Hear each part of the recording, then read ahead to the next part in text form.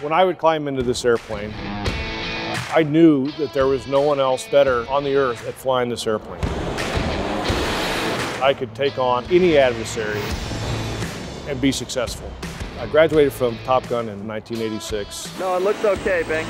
they called me Bing, as it goes along with my name, Bing Crosby. Going twice the speed of sound, pulling eight or nine Gs is just feelings that are unmatched.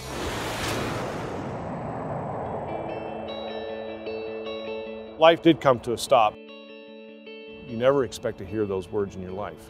As much as you can prepare for it, you never expect that it's going to be you. About one out of seven men will be diagnosed with prostate cancer. We have an excellent way to screen for prostate cancer.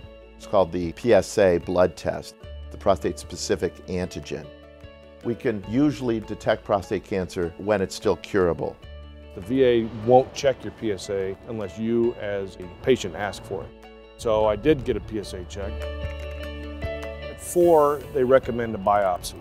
When I found out what my current number was last October, it was 14.6.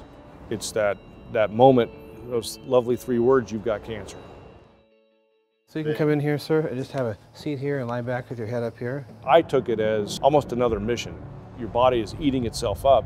What weapons can you employ to actually take on this enemy that's now inside your body? We'll start aligning you up to our target there. You'll feel the table move a little bit. The most effective weapon was the CyberKnife. The CyberKnife is the most advanced radiation device for precisely delivering radiation to a specific target in the body. It uses robotic technology to identify where the prostate is, and if there's any motion, it adjusts for it and treats with under a millimeter of accuracy. We do it in just five doses over one week. And because of that, it's much cheaper than conventional radiation therapy.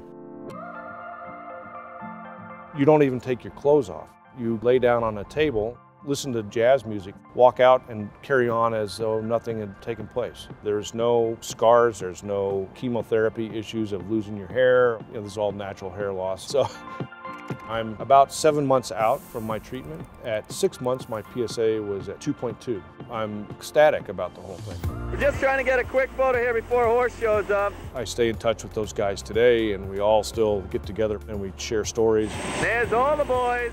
Guys get this ego and they want to ignore it all. It's okay, it'll get better.